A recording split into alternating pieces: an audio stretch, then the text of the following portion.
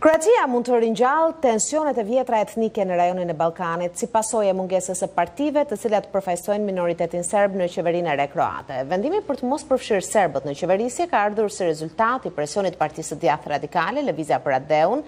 e cila do të formojë qeverinë me konservatorët në pushtet, të drejtuar nga kryeministri aktual Andrej Plenkoviq, siç citon Associated Press. Bashkimi Demokratik Kroat dhe Lëvizja për Atdheun ranë dakord për krijimin e koalicionit qeverisës, pasi HDZ, e cila ka qenë dominuese në vitet e fundit në Kroaci, nuk mund të qeverisë e vetme.